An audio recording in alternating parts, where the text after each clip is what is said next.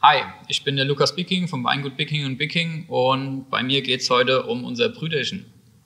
Das Brüderchen ist ähm, ja unser Einstiegscuvée, ist ein super saftiges, äh, frisches, aromatisches äh, äh, Cuvée aus ähm, verschiedenen Sorten, vor allem Scheurebe, Müller-Thurgau und Riesling, die einfach in der Kombination super saftig und ähm, ja, trinkanimierend sind.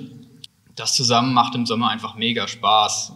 Einfach Flasche auf den Tisch stellen, aufmachen, ins Glas schenken und trinken. Prost.